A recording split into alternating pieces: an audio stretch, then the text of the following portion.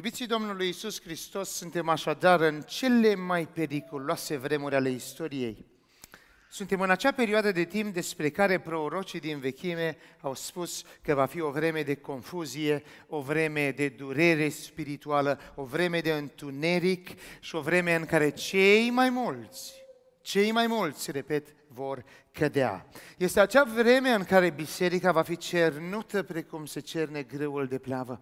Pentru că doar cei puternici și când vorbesc de cei puternici, vorbesc de cei aleși de Dumnezeu să poată să rămână în cumpănă, iar pleava să fie spulberată de vânt. Este acea perioadă de timp în care satana va lucra cu toată puterea și a fost autorizat de Dumnezeu să vină și să cearnă lumea. În această idee, aș vrea să vă citesc un text care să fie motivație pentru învățătura din această seară. Vă voi citi un text din scrisoarea lui Pavel către biserica din Efes, așadar Efeseni. Vom citi din capitolul 5, poate bine cunoscutul verset și mi-aș dori să fie așa pentru că este salutul eh, Bisericii Genesis din Londra, Efeseni, capitolul 5, versetul, vom începe 8 și apoi 9. Odinioară erați întuneric, dar acum sunteți lumină în Domnul. Umblați deci ca niște copii ai luminii. Căci roada luminii să în orice bunătate, în neprihănire și în adevăr. Amin. Dumnezeu să vă binecuvânteze pe toți. Ne reașezăm și în liniște ascultăm cuvântul lui Dumnezeu. Odinioară erați întuneric. Remarcați, vă rog, acest concept. Biblia nu spune că stăteai în întuneric, ci că erai întuneric. Aș vrea ca unul dintre voi să-mi spună care este diferența dintre întuneric și lumină. Cum ați defini voi întunericul? Absența totală a luminii, extraordinar răspuns. Dar ca să facem lucrul acesta și mai frumos, și mai plastic, și mai descriptiv, spuneți-mi, vă rog, Poate întunericul vreodată să biruiască lumina? Niciodată, evident. Cum poate întunericul să fie mai tare ca lumina? Doar în absența luminii. Mi-aduc aminte de tatăl meu, care la un moment dat îmi povestea despre un eveniment din viața lui. Era pe câmp și s-a pus o ceață densă într-o noapte întunecoasă și nu mai găsea drumul spre casă și se uita în stânga și se uita în dreapta și nu se mai vedea drumul. Dar la un moment dat a văzut un licăr departe. Acela era un mic beculeț pe care noi l-aveam atașat de acoperișul fermei. Un mic licăr de lumină i-a dat direcția în întuneric. Se spune că nu ai nevoie decât de o mică cantitate de lumină ca să împrăștie tot întunericul din jurul ei. O scânteie. Remarcă, te rog, felul în care Duhul lui Dumnezeu îți abordează direct această învățătură astăzi. Pentru că este vremea iubiților în care lumea se zbate în întuneric și am fost avertizați. Este vremea în care lumea îl va îmbrățișa pe satana mai mult decât totdeauna. Și interesant, o parte a Bisericii lui Dumnezeu îl va îmbrățișa pe satana. Acea parte care va cădea în apostazie. Doi tesaloniceni îți spune foarte clar în capitolul 2. Înainte de venirea anticristului, trebuie ca lumea și biserica să fie căzut în apostazie. Apostazie este un termen grecesc vechi, înseamnă căderea de la credință lumea va primi, și aici includ și biserica, show-ul, publicitatea, mass media în cadrul Sfințeniei lui Dumnezeu. Să nu credeți că ce se întâmplă acum e pentru prima dată. S-a mai întâmplat. Frații mei, pe vremuri, nu l-au putut primi pe Hristosul pentru că atunci când trebuiau să-L primească pe Hristosul se îndrăgostiseră de lume de practicile lumești. Să băgăm de seamă. O dinioară, ca să revenim la text, eram întuneric. Ce am spus că înseamnă întunericul? Absența totală a luminii. Vă rog, urmăriți textul împreună cu mine. Dar acum voi ați devenit lumină? Așa, oarecum lumină? În terminologia veche, lumina înseamnă înțelepciune, cunoștință, știință, um, am spune noi în engleză know-how. Acum sunteți lumină? Cum? Simplu? Prin voi înși vă? Ați devenit lumină în Domnul. Vă rog să nu separați aceste lucruri și să fiți atenți. În vremurile din urmă, lumea va cădea. Dar cei neprihăniți vor străluci ca stelele cerului și ca soarele în amiază? Doar pentru că ei vor rămâne în Domnul. Pentru că suntem unde suntem, vom reduce astăzi creștinismul până la esența lui. Și am să vă întreb direct, de ce ești tu creștin? De ce îți pierzi timpul aici? Pentru ce vii la biserică? Pentru ce vii în părtășie? Care ți este scopul? Sau mai precis, de ce vrei în cer? Mulți mă abordează și îmi spun, frate păstor, când vine timpul să mergem acasă? Când vine timpul să mergem în cer? La mulți le răspund cu tâlc și îi întreb, de ce vrei tu să mergi în cer? Ce cauți acolo? Pe cine cauți acolo? Și care ți este motivația și scopul? Și mulți se făstăcesc. De ce vreți voi, vă întreb astăzi, să mergeți acolo? Ca să ajungi în ceruri, trebuie să înțelegi ce înseamnă a fi creștin. Și asta se rezumă la trei concepte pe care le vom aborda astăzi, pentru că tu trebuie să, să fii lumină nu așa prin tine însuți, nu așa pentru că e fancy asta să cunoști, și apropo de asta, duceți-vă în stânga, duceți-vă în dreapta, acolo e o biserică, acolo e o biserică, acolo e o biserică. Sunt ca ciupercele după ploaie. Dar oamenii se mai duc astăzi la biserică pentru că e show, pentru că se pot vinde mașini ușor la biserică, pentru că la biserică să găsesc neveste sau bărbați, pentru că la biserică putem să ne găsim joburi, pentru că la biserică trebuie să spunem lucrurilor pe nume iubiții, că altfel ne ajungem în împărăție. Odinioară și voi erați la fel, întuneric. Ce am zis că înseamnă întuneric? Absența luminii. Când omul a căzut în păcat, el s-a dezgolit de slava lui Dumnezeu. Și în momentul respectiv a ajuns absența totală a luminii, adică a ajuns nimic. Când vorbești de întuneric în comparație cu lumină, atunci vorbești despre gol, absență, incertitudine, confuzie, răzvrătire, neascultare, vânzare, viclănie, dar acum, acceptându-L pe Domnul Isus, ați devenit lumină prin El. Într-una dintre predicile sale, o numim noi predica de pe munte, Domnul Isus Hristos ne-a amintit. Voi sunteți lumina lumii. Voi sunteți direcția. Voi sunteți acea licărire în întuneric, acea scânteie care face lumea încă să funcționeze. Voi sunteți. Voi sunteți sarea pământului. Și cum lumina nu poate fi pusă sub tăbroc pentru că ea trebuie să lumineze, așa și voi trebuie să luminați. V-ați întrebat vreodată ce înseamnă obrocul? Obrocul era o, un vas mic, el se asemăna cu o baniță, cu o găletușă. Pentru că nu existau chibrituri la vremea respectivă și producerea focului nu era așa ușor ca astăzi, să apeși pe buton și să vină focul. Oamenii își conservau focul. Dar ca să nu se consume peste noapte, acopereau acea lumină cu un vas care avea în vârful ei un mic, un mic orificiu, astfel încât cantitatea de oxigen să fie limitată. A, focul acela ardea mognit. Tu nu ești un creștin care să arzi mognit. Tu trebuie să fii înflăcărat. În tine trebuie să se vadă forța lui Dumnezeu. Căci dacă în tine nu-i forța lui Dumnezeu, apoi Dumnezeu nu e deloc. Iubiților, când Dumnezeu s-a coborât în fața lui Daniel, a căzut cu picioarele la pământ. Daniel. Nu poți sta în prezența lui Dumnezeu oricum.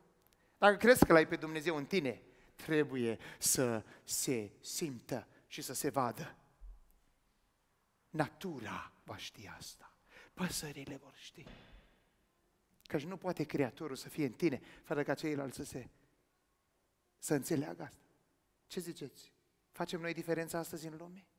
Ne mai cunoaște lumea că suntem diferiți față de ei? Continuând, Domnul Iisus Hristos a spus, nu doar că sunteți lumina lumii, sunteți sarea pământului. Dar dacă sarea își pierde gust, cu ce își va mai căpăta ea puterea de a sărea? Spuneți-mi, vă rog, cei care studiați chimie, credeți că sarea își pierde gustul? Ați văzut vreodată sare să-și piardă gustul?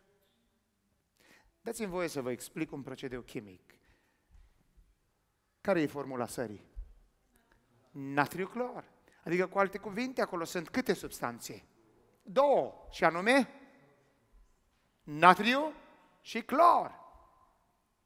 Poți să o dizolvi în apă? Poți să o arzi în foc?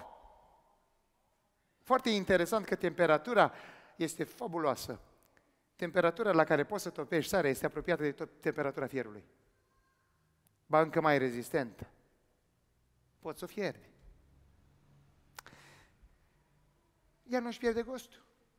Diluează în apă și apoi apa se evaporă și vei vedea că sarea rămâne sare, rămâne pe vasul, pe pereții vasului în care ai fiert.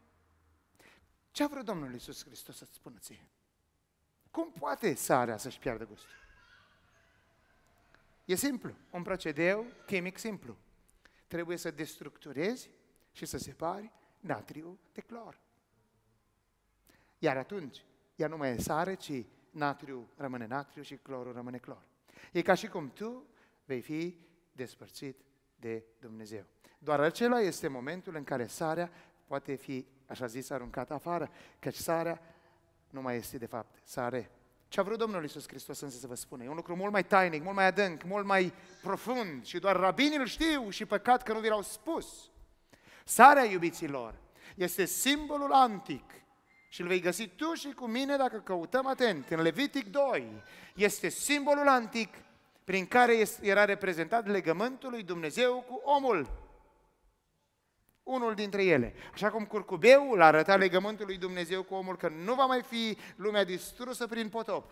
Așa, sarea, vei găsi scris în Levitic 2, nu, nu putea să fie dată de pe nicio jertfă, pentru că și ea trebuia să fie prezentă, fie că ardeai carne, fie că ardeai pâine, fie că ardeai greu, ea trebuia să fie prezentă acolo. Pentru că era semnul dintre legământul dintre Dumnezeu și om.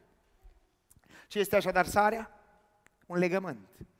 Când vorbim despre faptul că tu ești sarea pământului, ce înseamnă asta? Ești semnul în lume al legământului dintre Dumnezeu și umanitate.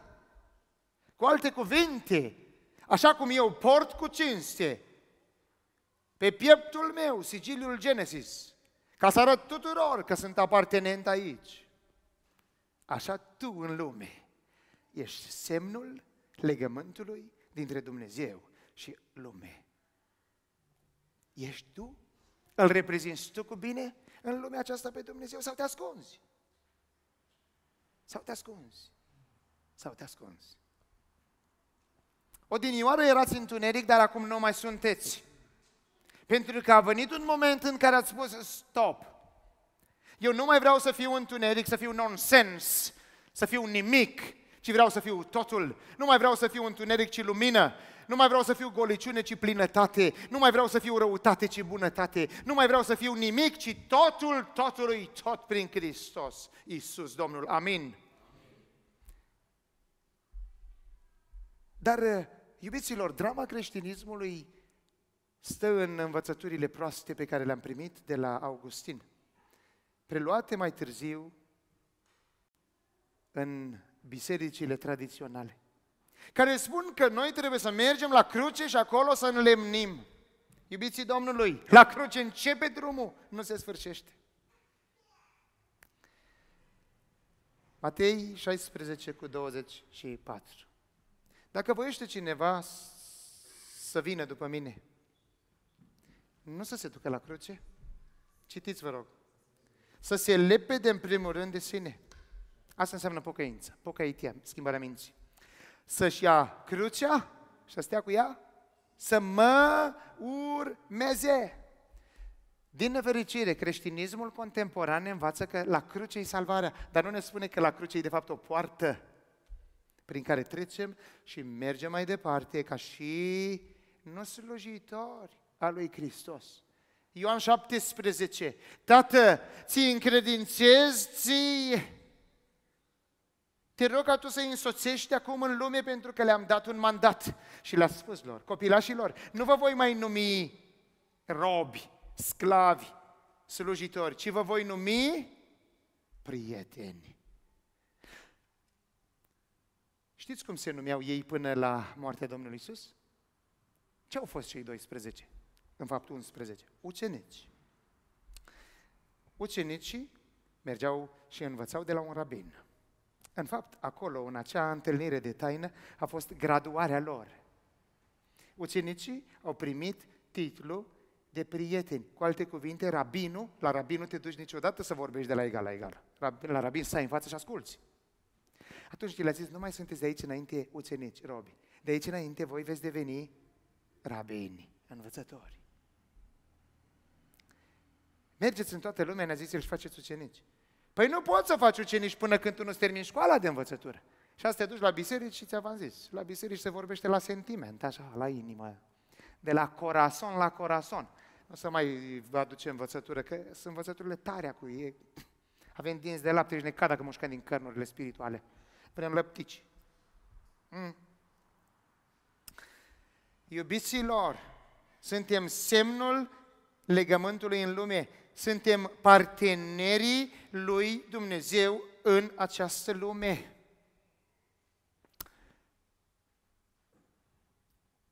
Suntem? Aceasta este marea întrebare. Odinioară voi erați întuneric, dar acum sunteți lumină, nu prin voi înși vă, ci în Domnul. Adică trebuie să fii cum a fost El, prin El, căci pentru El sunt toate lucrurile. Umblați, dar, ca niște copii ai luminii. E poruncă. Când spui umblați, este imperativ, este o cerință. Umblăm noi, noi ca niște copii ai luminii. Ce ziceți? Câți dintre voi puteți să-mi recitați cea mai mare poruncă din lege? Deuteronom 6 cu 4 și 5. Și mai Israel Adonai. Ascultă Israele. Așa începe cea mai mare poruncă. Ascultă, Shema. Problema creștinismului contemporan este că nu mai ascultă. Am apărut ca ciupercile de pe și facem ce vrem noi și cum vrem noi. Nu mai ascultăm. Repetăm. Care este cea mai mare poruncă? Nu așa începe, iubitule. Oriunde vei merge în casa unui evreu, la ușa lui vei găsi acolo o cutiuță. Se numește mazuza. Acolo este scrisă porunca. Veniți la mine acasă și vă arăt. Acolo e scrisă legea. Porunca. Mulți zicem că Domnul, așa începem noi, Domnul Dumnezeul tău este singurul Dumnezeu, să iubești. Nu, nu, porunca începe, cea mai mare poruncă începe cu ascultă. Shema, ascultă! Nu vorbi tu, lasă-L pe Dumnezeu să vorbească, că de asta am ajuns unde am ajuns, că lumea a început să vorbească, ea să se creadă mai deșteaptă. Ea nu l-au mai vrut mari preoți, le plăcea cum vorbeau ei. Și mai vine Hristos pe aici. Păi și am vonul cui rămâne. Sunt unii pastori, de așa ar sta legați, să nu plece de acolo. Ascultă Israele! Israel înseamnă bărbat care se luptă împotriva lui Dumnezeu. Nu la întâmplare, poporul ăsta are o problemă cu Dumnezeu. Israel, bărbatul care se luptă împotriva lui Dumnezeu. Ascultă tu, omule, care te lupți cu Dumnezeu. Și acum continuăm, iubiții. Domnul Dumnezeul tău este singurul Domn. Să-L iubești pe Dumnezeul tău cu toată inima ta,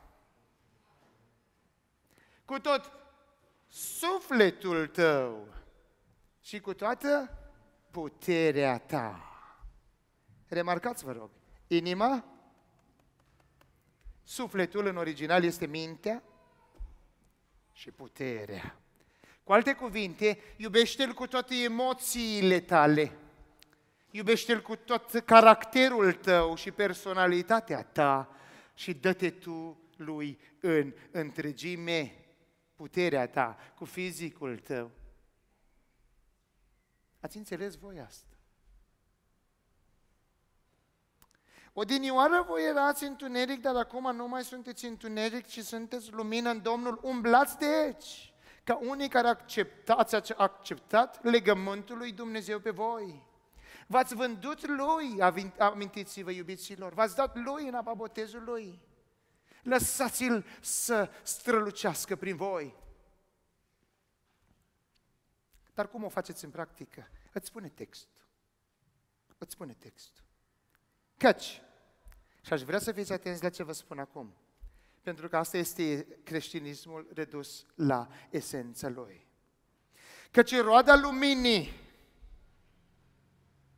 interesant este că în limba greacă, și m-am consultat aici cu consiliera mea, Dumnezeu mi-a dat aici, în această biserică, o consilieră în limba greacă. Am avut binecuvântarea să am aici o fată născută în România, dar dusă de la vârsta de 2 ani în Grecia și a făcut școala acolo și ea mă ajută să înțeleg lucrurile vechi. Ce nu înțeleg eu din greaca veche, îi cer ei să-mi explice și am traduce și mă învață și așa mai departe. Ca așa mi-a zis Dumnezeu. Cercetați toate lucrurile și luați ce bun. Eu învăț acum, la vârsta mea, voi sper că nu v-ați oprit. Unii sunteți tineri, nu uitați să învățați. Odinioară, așadar, erați întuneric că și acum sunteți lumină în Domnului, umblați ca niște copii ai luminii, căci roada luminii. Acolo scrie ceva interesant. Carpos, photos, pneumas. Interesant e că la noi este tradus incomplet. Roada luminii. Dar lumina poate să fie oricine. Și satana câteodată se transformă într-un înger de lumină, bar chiar am fost avertizați cu privire la asta. Biblia este exactă, căci roada luminii Duhului Sfânt. Fotos pneumatos. Lumina Duhului Sfânt.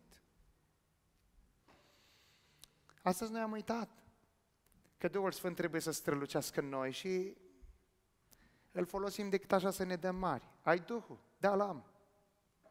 Demonstrează, hai să ți-l dau și ție, îl dăm ca și cum ar fi un bun. Iubiților, nu uitați că își vorbiți despre Dumnezeu. Duhul Sfânt este parte din Dumnezeire. Voi ați fost expuși la Duhul Sfânt acum 2000 de ani aproape. La cinzecime. Dar nu uitați, poporul evreu este expus la Duhul Sfânt de la început. Avem un pic mai multă experiență. Și credeți-mă, Duhul Sfânt este o armă puternică cu care nu te poți juca cum vrei. Aveți grijă. Căci roada luminii Duhului Sfânt, cu alte cuvinte, nu a ta, nu a mea, nu înțelepciune omenească, este roada Lui. Ce înseamnă în limba greacă, frate? Roada. Nu fructul, nu poame, mere, pere în panere. Este o expresie veche care spune manifestarea Duhului Sfânt. Felul în care El se, își produce efect în lume. Manifestarea Duhului Sfânt stă în unde? Cum îl vezi pe Duhul Sfânt? Spuneți-mă, rog. în exprimarea Lui. Căci roada luminii Duhului Sfânt stă în ce? Stă în orice. Nu uitați, este foarte precis textul. În orice, adică în integralitatea manifestării Duhului Sfânt stă în trei aspecte, în trei direcții. Agate sune înseamnă tradus bunătate. Ca să fii lumină în lume și ca să te manifesti în lume prin Duhul Sfânt, în primul rând trebuie să ai ce? Bunătate. Păi când vorbești de bunătate, nu înseamnă, v-am mai povestit eu, a fi bun. Că a fi bun, poți să fii când vrei tu. Aleg asta să fiu bun. Spuneți-mi, care este diferența dintre un rău și izvorul răului? Cine dintre voi știe să explice? Care e diferența dintre izvorul unui rău și râul însuși? Râul va pleca tot timpul din izvor, niciodată izvorul nu va veni din râu, așa Izvorul este mereu sursa râului. Sunteți de acord cu mine? Asta e diferența dintre a fi bunătate și a fi bun. A fi bun este generat tot timpul de... Dacă merge de bunătate. Dar bunătatea nu poate fi generată de a fi bun. Ca a fi bun poți să-ți alegi tu când vrei. Dacă vii din bunătate, vei fi tot timpul bun. Că un râu nu poate să dea și apă dulce și apă sărată în același timp, un izvor, așa Sunteți de acord cu mine? Dacă sunteți izvor de apă dulce, puteți voi să fiți apă sărată? Sau viceversa? Deci, roada uh, luminii Duhului Sfânt, manifestarea înțelepciunii Duhului Sfânt stă în orice bunătate. Ne oprim pentru o secundă aici. Aveți grijă, pentru că astăzi noi creștinii am învățat să fim buni, nu bunătate. Adică, cu alte cuvinte, să decidem noi când suntem efecte ale bunătății. Îmi place de tine, îți botez copilul. Nu-mi place de tine, mi-a zis cineva că sunt pastori în România care percep taxe la nuntă, domnule. Păi cum să-ți cer eu bani pentru cuvântul Domnului? Asta e bucuria mea, este legea lui Dumnezeu, pentru asta am fost trimis în lume, să răspândesc Evanghelia. Doamne, Doamne, Petru, cred că se răscolește sus. Mă mir ce face ăștia când s-au întâlnit cu Petru, cu Pavel. Și le zice, dar noi nu v-am zis asta. De ce ne-ți răstălmăci vorbele? Doamne, Doamne, păzească-ne Sfântul. Bunătatea iubiților cum este? Spuneți-mi, vă rog. Dați-mi un exemplu. Păi bunătatea nu-ți cere nimic în schimb. Ați auzit de, dar asta va fi tratat pe larg mai târziu, nu astăzi. Săptămâna viitoare vom vorbi, apropo de cei curioși veniți, dacă vreți să auziți, principiile dragostei divine. Să nu uitați asta. Se numește agape, agapas, care de fapt nu înseamnă dragoste, ci înseamnă sacrificiu de sine. Păi cum mă sacrific eu pe mine dacă de fapt te sacrific pe tine? Testor de bani, testor de timp, testor de tot. Nu, domnule, când te sacrifici pe tine, dai tot ce ai, tu, nu ce are celălalt. Că așa făceau evreii pe vremuri, săraci. Doamne, nu mai dăm nimic, că noi ne-am făcut corban. Corban e o lege veche. Și ți-am dat ție tot deja de la naștere. Noi decât le folosim și noi, stale tale. Dați-mi exemplu de bunătate. Bunătate înseamnă nu să dai când știi că celălalt îți va da înapoi. Bunătate înseamnă să dai mai ales celui care te-a călcat pe bombeu. Bunătate înseamnă să-i dai tot, mai ales acelui care ți-a dat o palmă, acelui care te-a scuipat, acelui care te-a batjocorit, acelui care te-a lovit. Bunătate înseamnă să dai celor care nu merită. Căci la cruce s-a arătat bunătatea lui Dumnezeu și dragostea lui de oameni. Tit 3 cu 4. La cruce s-a arătat bunătatea. Darul nemeritat. N-am meritat. Dar El ni l-a dat și ni l-a dat pe tot. Caris s-a tradus la noi har, adică a fost de fapt lăsare tradus, înseamnă bunătate. Ți s-a dat pentru că tu n-ai meritat. Tată, iartă-i că nu știu ce fac. Asta e bunătatea. Așadar, stă în orice bunătate în neprihănire. Cine poate să-mi traducă asta? Neprihănire.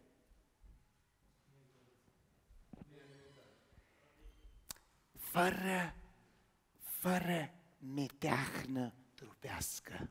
și spirituală. Este un termen care s-a folosit inițial la aducerea jertfei.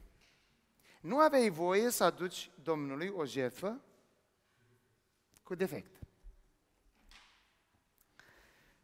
Trebuiai, atunci când aduceai o jertfă, să o cercetezi, să o cercetezi, să o cercetezi și să o pui la altar decât dacă era perfectă.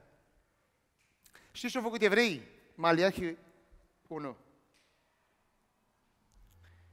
Israele, un fiu îl cinstește pe tatăl său și o slugă pe stăpânul său. Dacă sunt tată, unde-i cinstea care mi se cuvine? Dacă sunt stăpân, unde e teama de mine? Zice Domnul oștirilor. Către voi, preoților, care ne socotiți numele meu și care ziceți, cu ce am nesocotit, Doamne? Prin faptul că aduceți pe altarul meu bucate necurate. Și ziceți, cu ce te-am spurcat? Prin faptul că ați adus și ați zis, masa Domnului este de disprețuit. Voi când aduceți o jertfă, oarbă, nu e asta un lucru rău. Când aduceți una șchioapă sau beteagă, nu e asta un lucru rău. Ia două dregătorului tău. Te va primi el bine pentru ea. Va ține el seama de ea, zice Domnul. Păi așa am ajuns noi azi. Să dăm Domnului doar resturile. Asta era termenul neprihănire. Trebuia să fie perfect. Adică complet. Adică în integralitate. Păi cum să-i dau eu Domnului când eu ciuntesc? Știți, am fost la o... Nu vreau să dau denominațiunea, că nu. E, nu suntem aici să criticăm denominațiuni, ci pe oamenii păcătoși și păcatele lor. Stătea pastorul cu mâna așa. Veneai să te rogi pentru el și uite așa, făcea semn, ca să nu se vadă ce primești. Păi cum mă, tu vinzi neprihănirea și iertarea? Tu vinzi cuvântul lui Dumnezeu ca pe tarabă, ca la legume? Vai de noi unde am ajuns. Da, Dumnezeu ne va chema. Iubiților, neprihănire în Biblie înseamnă integralitate, fără defect, fără blameș, fără pată, tot. Când ești lumina Duhului Sfânt în lume, înseamnă că ești în integralitate dat Duhului Sfânt. Pe mine m-a frapat, m-a șocat, m-a lovit când am văzut necurăția unde am ajuns. Astăzi, v-am mai zis eu vouă, am tăiat din Biblie cât am putut. Unii o să ajungă cu coperțile. Oricum sunt mai ușor de transportat. Să în orice bunătate, în neprihănire, adică în integralitate și în aletheia. Agatosune, diacosune și aletheia. Adevăr. Cum poți tu să fii un om al Duhului Sfânt? O lumină în întuneric, dacă în tine nu e adevăr. Dacă tu trăiești o viață duplicitară. Domnul Iisus Hristos, înainte de plecarea Lui din lume, ne-a lăsat scris. Lumina. Lumina mai este puțină vreme în mijlocul vostru. Umblați dar ca unii care aveți lumină. Vedeți cât de frumos se completează cu Efeseni ca să nu vă cuprindă întunericul. Dați-vă toate silințele. Dați-vă toate silințele iubiților. Pentru că întunericul și-a făurit arme puternice și trăim vremea când satana va ajunge să coboare foc din cer, adică să mimeze sfințenia lui Dumnezeu. Și vor cădea mulți, cei mai mulți. Ce garanție ai că vei ajunge sus? Ce garanție ai că îl vei vedea pe Dumnezeu? Iubiții mei, Voi sunteți oameni adoptați într-o lucrare numită biserică, cu alte cuvinte, într-o lucrare măreață începută de un Dumnezeu evreu al evreilor, pentru că El a zis, Avrame, în tine eu voi avea un popor, te-am ales dintre toate semințiile pământului să fie întâiul meu născut Israel și în tine să am un popor. Veniți așadar dintr-un neam de oameni care l-au cunoscut pe Dumnezeu față în față și atunci când El s-a înfățișat în chip de om, nu au mai vrut să-L vadă pentru că nici măcar l-au mai cunoscut. Cine vă dă vouă dreptul să spuneți că noi îl vom cunoaște? Poate că a venit de multe ori printre voi și v-a cerut pâine, și v-a cerut apă, și v-a cerut bunătate, și v-a cerut ajutor și l-ați tratat ca pe nimeni. De unde știți voi că îl veți cunoaște? Poate că arată exact ca unul dintre noi. Și în fapt este. Și așa va veni de multe ori în viață. Este scris. Voi veți primi pe îngerii lui Dumnezeu și cu ei va veni și El și te va testa. Pentru că, dragii mei, mergem într-un loc care se numește împărăție, care are un împărat, care are un rege. Nu poți veni în fața lui oricum. Nu te poți trage de șireturi cu Dumnezeu. Daniel este unul dintre cei doi oameni despre care în Biblie nu se spune nimic rău. Iov este unul care este numit neprihănit. Ezechiel este un om ca Dumnezeu. David este preiubitul lui Dumnezeu. Acești oameni n-au putut să stea în fața lui. Cum vei fi tu când te vei învățeșa lui? Vei fi tu un om al bunătății? Vei fi tu un om al neprihănirii? Vei fi tu un om al adevărului? Căci niciun mincinos nu va intra în împărăția mea. Găsești asta în Apocalipsă?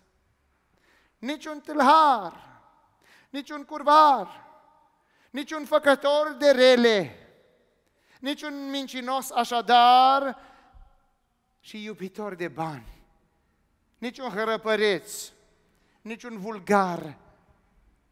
De unde avem noi această invenție în minte să credem că e simplă treaba? Stăm și vom sta în fața unui împărat. Lumina mai este mult, puțină vreme. Voi umblați ca unii care aveți lumina. Că cine nu umblă acum în întuneric, nu știe unde merge. Aveți grijă. Apropo de asta, vă aduceți aminte de pilda celor 10 fecioare? Câte dintre ele au adormit? Toate 10. Nu uitați, este un reper. Nu 5, toate 10. Interesant este că după ce ușa s-a închis și nunta a început, au venit și celelalte cinci. De unde au venit ele? Spuneți-mi. Biblia spune că ele ceruseră un de lemn de la cele înțelepte și ăștia le-au zis, nu putem să vă dăm. Mergeți la cei ce vând un de lemn. Mergeți la cei ce vând un de lemn.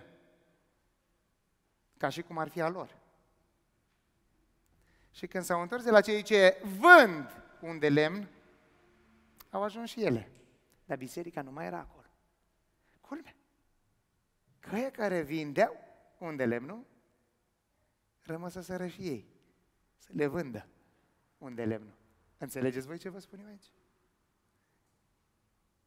Aveți grijă. Nu mai vindeți cuvântul lui Dumnezeu. Că ăsta ne-a fost dat prin har, jertfă și sacrificiu mare.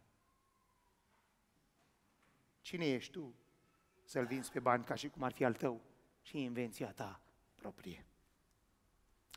Nimeni, nimeni, ne spune Pavel, să nu vă înșele cu vorbe deșarte, căci din pricina acestor lucruri va veni mâneia lui Dumnezeu peste oamenii neascultători.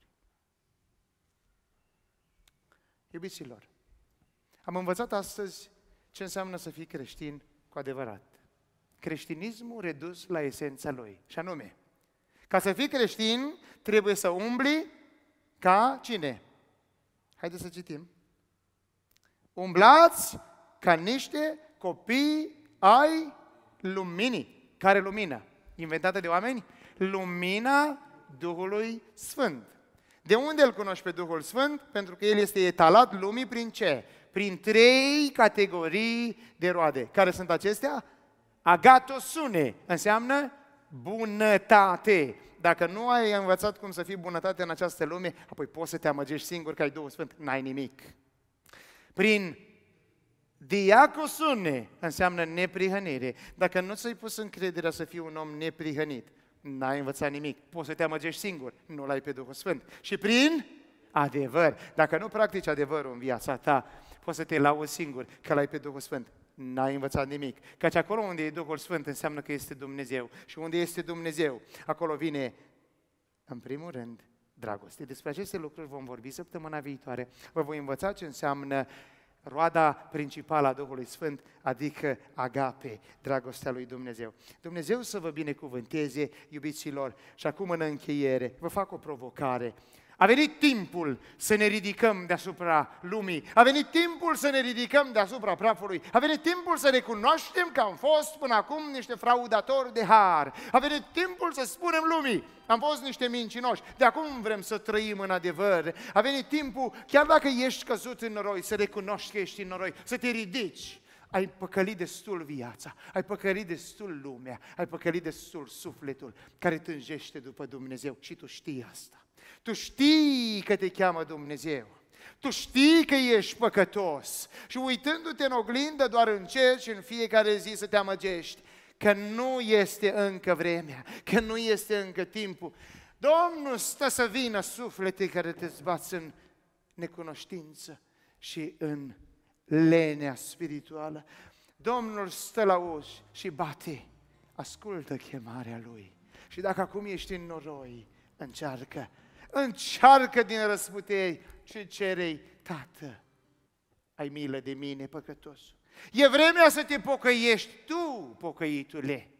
E vremea în care să spui lumii și ție însuți, există Dumnezeu și El mă va curăți. Să nu uiți, ca să ajungi la aur lămurit, trebuie să fii lămurit în foc, nu odată, nu de două, ci de șapte ori. Dar crede-mă, când vei trece prin aceasta, vei ajunge acolo unde nici stelele nu vor străluci ca tine.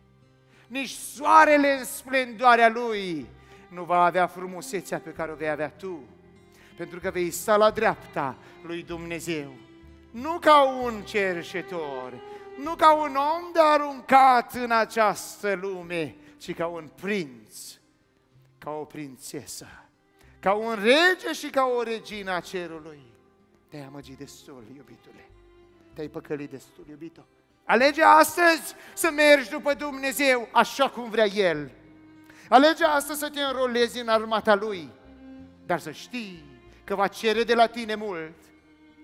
Va cere sudoare, va cere chin, va cere câteodată deznădejde, va cere câteodată sacrificiu, dar e un preț bun. E o asigurare de viață eternă asigurare de viață care nu se va mai termina. Vei fi și vei sta la masă cu neprihănitul Iov, cu credinciosul Avram, părintele meu, cu credinciosul fiu Isaac și cu preiubitul fiu Iacov. Vei mânca cu Iosif, vei vorbi cu Pavel, te vei bucura cu Petru, și în capul mesei, cu mâinile străpunse de cuie, te va mângâia și îți va ura bun venit. Hamașia, Mesia, Ben Elion, Iisus Hristos, Fiul Celui Prea Înalt. Dacă te-ai spătut în beție, dacă te zbați în tutun, în pornografie, în droguri, dacă te-a cuprins și corupt iubirea de bani, nu uita. Dă-te lui Dumnezeu acum. E vremea să pui capul jos. Să arăți că ești un nimeni.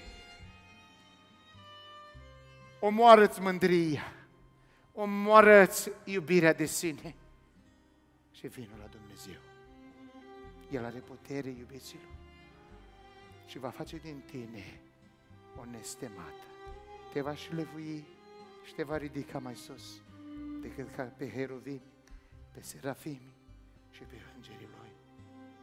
Va pune sub picioarele tale legiuni de îngeri și vei ajunge să-i administrezi averea, că El este bun și bunătatea Lui n-a ajuns la capăt.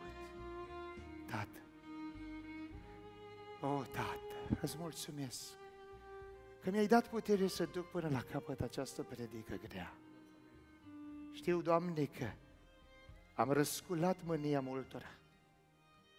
Dar, Doamne, o spun prin puterea Ta, căci este nevoie să ne curățăm și să Te vedem așa cum ești, să Te întâlnim în văzduh, Fiule, nestemată aleasă, prin tine, Duhule Sfânt, prieten de preț, căci ești minunat, bun, credincios și iubitor.